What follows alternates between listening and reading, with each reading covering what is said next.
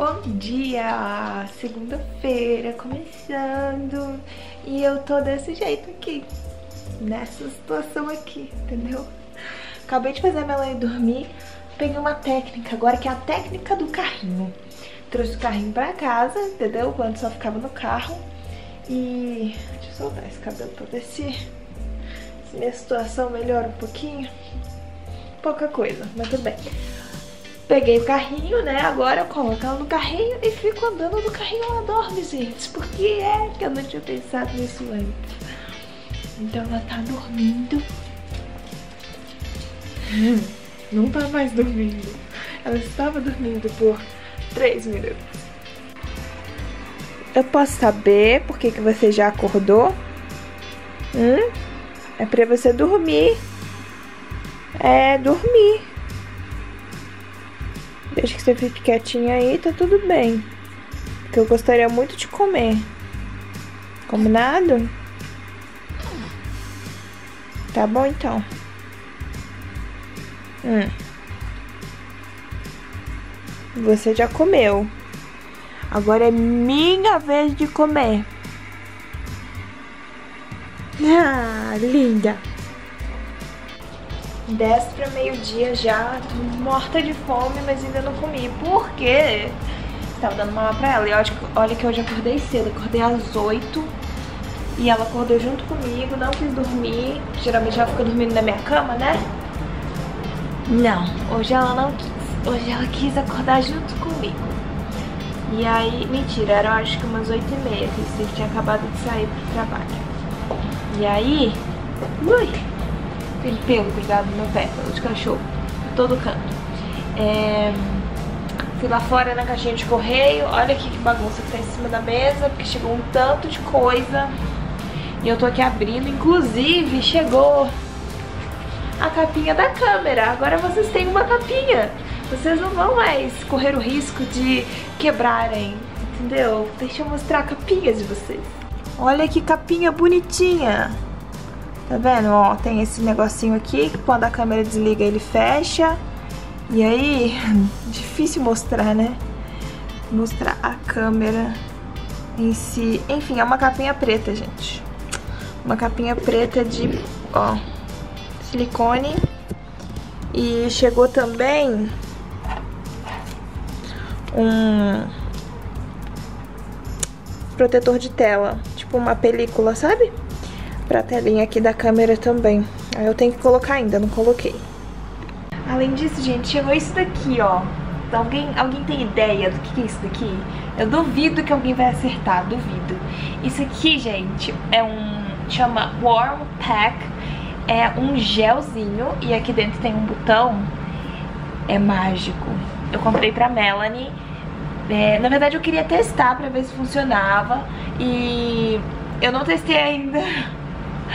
Eu tava esperando é, eu pegar a câmera pra mostrar pra vocês. Esse aqui... Ai, tem alguém chorando.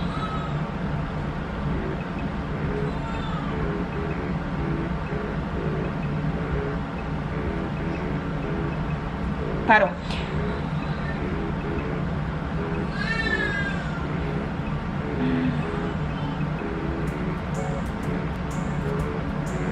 Tive que trazer ela pra cá porque lá reclamando. Mais uma tentativa, vamos lá, tentar mostrar pra vocês o que, que é isso aqui. Esse botãozinho aqui, gente, ele ativa o gel e esquenta. Eu troquei sua fralda, eu te dei mamar, você só precisa dormir.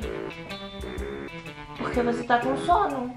É, é sono isso relaxar e dormir. Tava lá no seu quarto, com barulho de chuva, tudo escurinho, quentinha. Vamos lá. Vou mostrar a mágica pra vocês, ó. O botãozinho tá aqui. Você faz assim.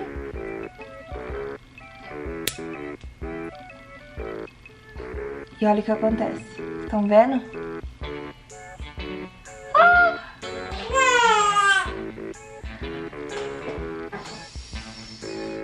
Olha só, ficou duro, antes era mole, agora tá durinho. fica bem durinho. E tá quente! Pronto, tá balançando. Não pode ficar parado, gente. O negócio tem que ficar balançando o tempo inteiro, senão ela reclama.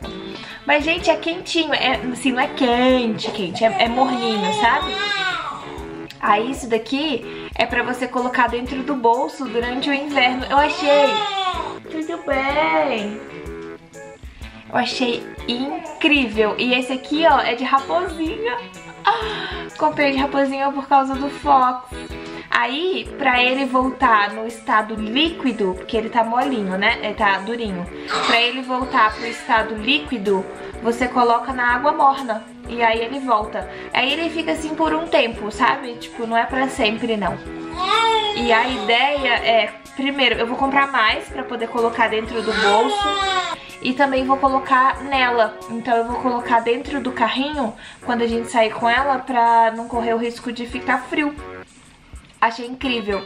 E também vocês falaram que quando ela tiver cólica é pra colocar um paninho assim, é, quente na barriguinha dela. Posso colocar isso aqui. Eu não vou colocar diretamente na pele dela, porque apesar de não ser quente, quente, eu vou colocar com um paninho, né? Porque a pele dela é mais sensível que a minha. Então pra mim não é quente, mas pra ela talvez seja.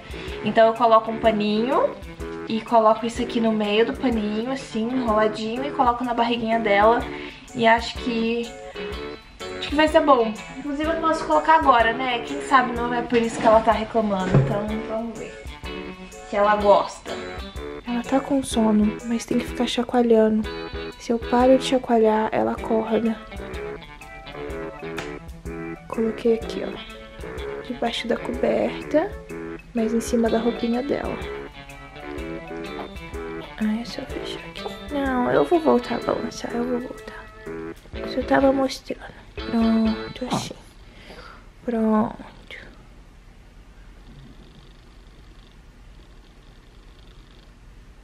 Posso fazer mais nada da vida, né? Porque como que eu fico balançando e faço alguma coisa?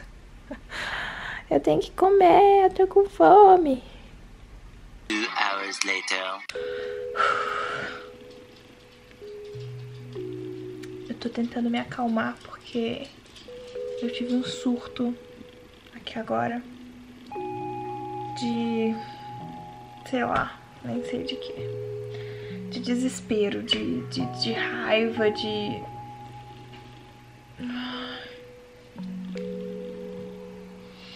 Não sabia o que fazer, gente. Melanie parava de chorar, ela estava berrando. Não parava por nada por nada. Dei o peito, não quis. Dei uma madeira, tomou um pouquinho, não quis mais. Tentei fazer dormir, não queria de jeito nenhum. Coloquei no tapetinho, não queria ficar. Coloquei na, no carrinho, não queria ficar. Ela só berrava, berrava, berrava, berrava, berrava, berrava. Ao mesmo tempo, a casa uma bagunça, o chão imundo, porque quando neva, você entra em casa com o pé todo molhado e aí a casa fica um nojo. Steve com essa mania de jogar a roupa no chão. Eu não sei mais o que fazer. Sabe o que, é o pior? Eu tô pagando. Eu tô pagando porque quando eu era adolescente, eu jogava roupa no chão. E minha mãe falava pra eu parar de jogar roupa no chão, eu continuava jogando. Eu só fui parar quando eu mudei pra cá e comecei a morar sozinha. Porque se eu jogasse no chão, eu ia ter que catar, né? Então, assim, eu tô pagando pelo que eu fiz. E eu falo pra ele, para de, roubar, de jogar roupa no chão, não adianta. Ele joga todos os dias, não importa quantas vezes eu peça. E aí eu comecei a ficar estressada, estressada, estressada, estressada, estressada, estressada. E aí eu coloquei a Melanie no berço e deixei ela chorando por uns 10 minutos, até que eu não aguentei mais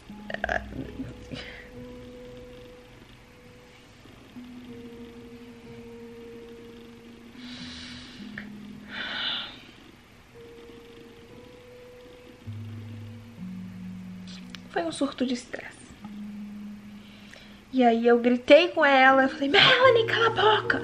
E aí, depois, eu fiquei me sentindo a pior pessoa do mundo, porque eu gritei com um bebê de um mês e meio. Que não sabe de nada. que não sabe o que tá fazendo e que tá chorando. E eu perdi a cabeça e gritei com ela.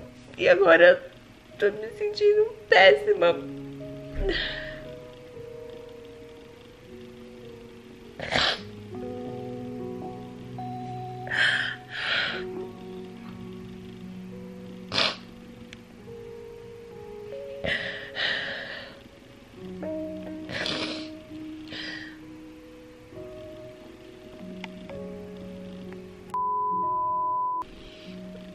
Eu sei que eu tenho que aprender a controlar os meus sentimentos. Eu trabalhei com criança por três anos e eu sei que a gente tem que respirar fundo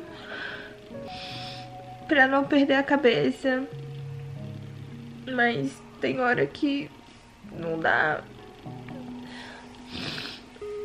Porque uma coisa é você cuidar do filho de outras pessoas que chega uma hora que acabou seu horário você vai para casa. Outra coisa é você cuidar do seu filho, da sua filha, que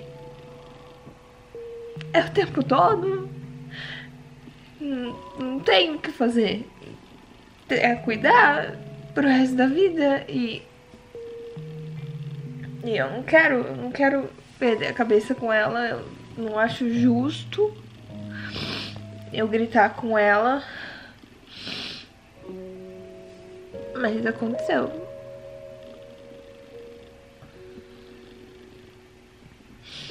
E aí depois eu fiquei com a consciência tão pesada, tão pesada, tão pesada que, tipo, eu peguei ela no colo e aí eu sentei na cadeira lá do quarto dela e fiquei com ela assim. E ela, tipo, olhando pra mim com aquela carinha de não sei o que tá acontecendo. Ai cortou meu coração. E aí, finalmente, finalmente, eu consegui fazer ela dormir, só pegando ela assim no colo e ficando uns 10, 15 minutos com ela até ela se acalmar, parar de chorar e dormir. E eu coloquei ela no berço e ela ficou. Ficou. Tá dormindo até agora, tem uns 20 minutos que ela tá no berço. Não sei porquê. Não sei. Não sei o que tá acontecendo antes. Que ela não queria dormir. Mas agora ela dormiu.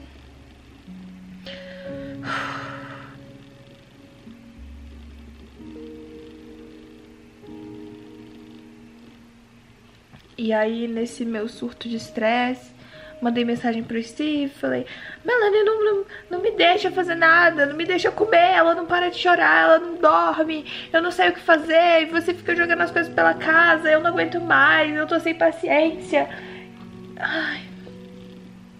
Como se isso fosse resolver alguma coisa. Não vai resolver nada. Mas na hora a gente precisa o quê? A gente precisa falar, a gente precisa explodir, a gente precisa expressar aquilo que a gente tá sentindo. Não adianta nada.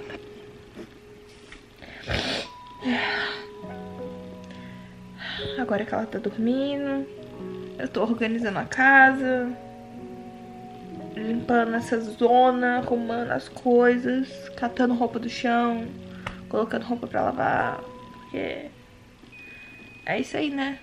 As responsabilidades não param. É a vida, né? A vida de casado é isso. A vida de mãe é isso. Só precisava desabafar um pouquinho. Obrigada por escutar.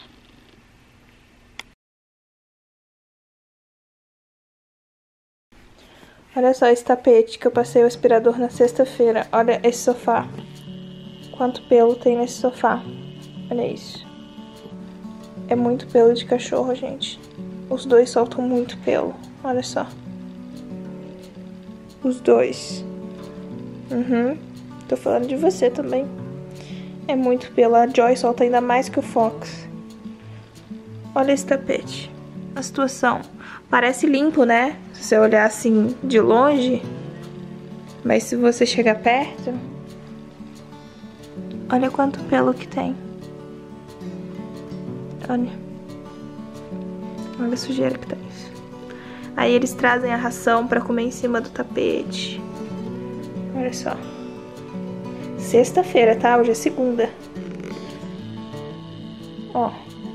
Folha lá de fora. Tá vendo? Ó, que a varanda tá aqui. As folhas entram tudo aqui. Olha isso. Olha isso. Isso aqui que eu falei, ó. Em frente à porta de entrada. Tudo molhado, tá vendo? Isso aqui, gente, passei pano. Tem três dias. Só não passei final de semana porque eu queria descansar, mas... Olha a situação. A casa toda fica assim, porque entra com o pé molhado da neve. E aí molha tudo o chão. Ó, pela casa toda tem esses bolos de pelo, tá vendo? Na casa toda. Não importa quantas vezes eu passo o aspirador. No dia seguinte vai estar tá assim. Ó, debaixo da mesa. Isso é pelo. Bolos de pelo. Principalmente da Joy, tá vendo que é branco? É muito pelo. Está debaixo da mesa. Olha aqui. Pense. Como que a pessoa não surta com uma casa nesse estado?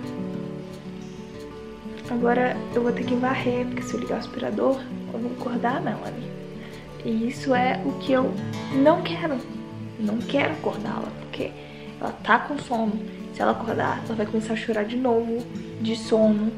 E vai ficar brigando contra o sono, igual ela tava fazendo. Não quero isso nenhum.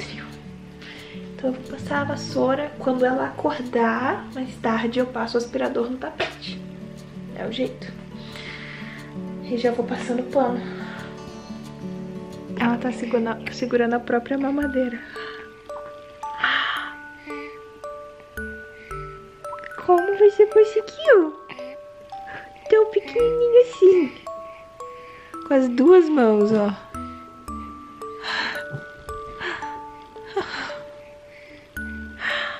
Ai, não aguento, não. Não tô ajudando. A outra mão tá segurando a câmera.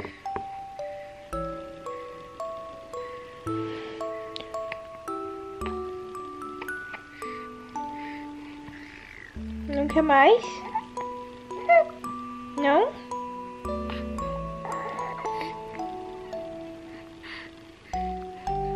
Não, não quer. Não quero. Consegui limpar a casa, aspirei tudo, varri a cozinha, passei pano. E ela ficou quietinha porque eu coloquei ela ali, ó, no tapetinho dela. E aí, agora eu coloquei a cadeirinha dela aqui em cima da mesa, mas tá seguro, tá aqui na minha frente tá, e tem espaço dos dois lados, então não tem chance de cair. Mas eu coloquei ela aqui, fiquei balançando e ela dormiu. Ó, tá quietinha, quietinha. Enquanto isso, vou fazer umas coisas aqui no computador. E eu tinha que ir no correio levar um, um envelope lá do Steve. Mas, vou deixar pra ir amanhã, porque já são... Que horas? 10 para as 4. Eu acho que eu vou ficar aqui no computador mesmo, editar uns vídeos. E amanhã eu passo no correio. Que bonitinha. Hoje o jeito é trabalhar assim, ó. Ela agarrada em mim. Aí eu com o telefone na mão, respondendo as mensagens no Instagram. No computador aqui editando vídeo. E é, é a vida, gente. É a vida, né? Já tentei colocar ela aqui do lado, ó. Fica não. Steve tá chegando. São seis horas agora. Já tá totalmente escuro. Mas ele tá chegando em casa, ele falou... Quando eu chegar em casa, você pode ter o tempo que você quiser de descanso. Eu fico com ela. Acho bom. Acho bom mesmo.